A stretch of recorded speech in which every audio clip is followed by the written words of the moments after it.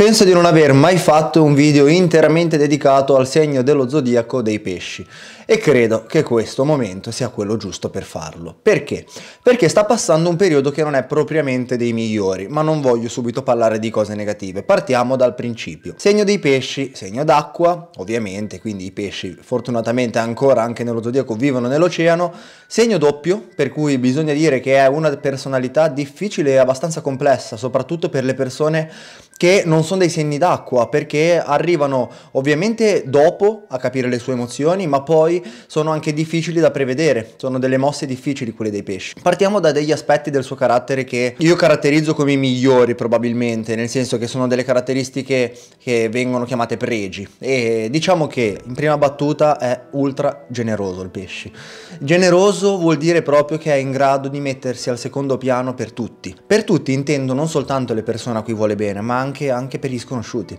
Cioè è un'indole quella del segno dei pesci di voler aiutare il prossimo, ma senza un ritorno da parte sua. Non lo fa né per il karma, né per l'universo, né per avere qualcosa in cambio, lo fa per una necessità. Sembra strano perché nel 2023 le persone sappiamo che fanno le cose per opportunismo e il pesci al contrario non è così. Poi è ovvio che vanno contestualizzate le situazioni, perché se il pesce lo porti ad un limite dal punto di vista proprio della sopportazione, perché perché purtroppo certe persone sfruttano questo suo lato e quindi lui si accorge di essere fondamentalmente sfruttato come una mela fino a quando non viene succhiata tutta la polpa, a quel punto il pesci sì che potrebbe vendicarsi in malo modo, ma la vendetta è comunque un qualcosa che sei andato a ricercarti, sei andato a stuzzicare il pesci con molta molta dedizione e ce ne vuole, credetemi. Poi è chiaro, la generosità è direttamente correlata ad un'altra grande caratteristica che è la ipersensibilità. Questo è un aspetto che potrei eh, scindere in due parti perché è un aspetto positivo se si tratta di percepire le emozioni altrui e anche le proprie, per cui il pesci è empatico, è una persona che è in grado di sentire il dolore degli altri e quindi ha immedesimarsi nelle anime altrui è una cosa che lui riesce a fare bene, quindi anche a consigliare, ad essere di supporto, ma è altresì questo un aspetto negativo perché essere ipersensibili che cosa comporta? Avere un'autostima relativamente bassa, non essere troppo carismatici e poi soprattutto purtroppo fare il vittimismo. Il vittimismo è una pratica che eh, viene diciamo fuori soprattutto in un rapporto di coppia o praticamente anche quando si è in giro con amici e quant'altro, dove si tende a fare quello che è sempre trattato male, a quello che non viene mai considerato, a quello che non si sente compreso. Il pesce è incompreso. Per fortuna però nel mondo non ci sono solo le persone che lo incriminano per il suo vittimismo, ma ci sono anche quelli che lo comprendono.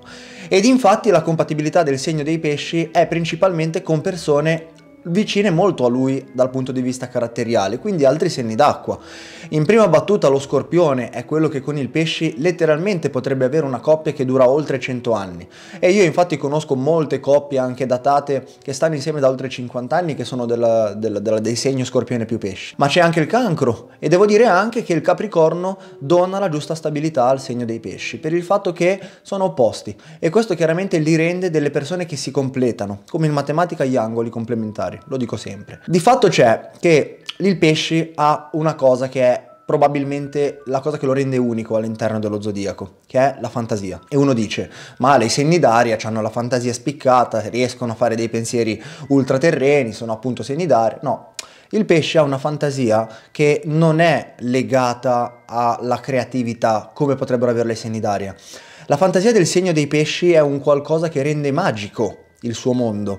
E per l'appunto non si tratta di creare qualcosa, ma si tratta di, perché appunto un, un artista crea, che ne so, uno scultore si mette a scolpire una statua eh, dal nulla senza avere neanche un modello da seguire e lì si ha avuto una creatività fan- fantastica. Il segno dei pesci invece non è una creatività fantastica, è proprio lui che è solo fantastico. È quello che potrebbe addirittura pensare, come Albert Einstein fece, a come è possibile che noi siamo nati dal Big Bang, da dove deriva l'essere umano.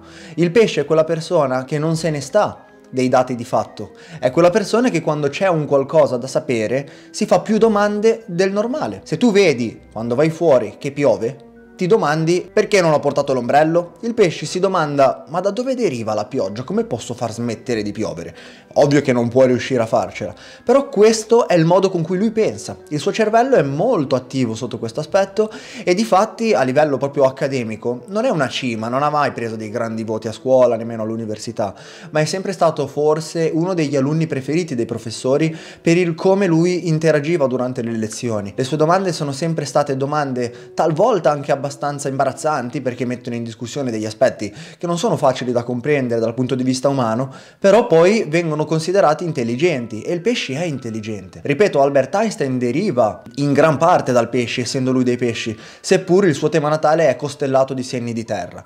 Ma bisogna dire che senza l'acume mentale del pesce, Einstein non avrebbe sicuramente avuto modo di creare quello che ha creato dal punto di vista scientifico, ovvero farsi delle domande che vanno a mettere in discussione le leggi della natura. Segno dei pesci è probabilmente dal punto di vista zodiacale anche colui che si porta sulle spalle tutti i segni. Come ben sapete, al dodicesimo posto è sempre messo questo segno quando si fa l'oroscopo settimanale o l'oroscopo mensile perché si segue l'ordine cronologico dal punto di vista dei gradi della circonferenza zodiacale arrivando sino al al, agli ultimi 30 gradi, quindi dal grado 330 al grado 360 andando a parlare appunto del povero pesce che si trova sempre in fondo. E quindi uno dice, eh, ma mi sento sempre in fondo e mi sento escluso. Eh no. Avete presente la prova di evacuazione? Si faceva a scuola, ma si fa tuttora anche nelle postazioni di lavoro, se capita.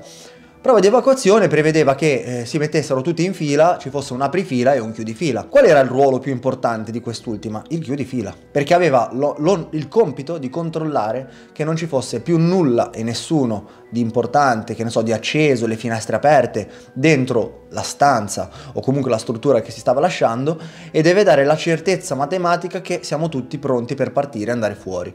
Il pesci ha lo stesso compito. Una volta che termina, diciamo, la circonferenza astrologica, il pesci la fa ricominciare. Quindi è colui che chiude, ma è anche colui che inizia. E chi inizia qualcosa ha la responsabilità di permettere fondamentalmente a chi davvero apre poi le porte, che sarà l'ariete, di farlo con serenità ed è il pesce che sancisce quando finisce tutto con serenità.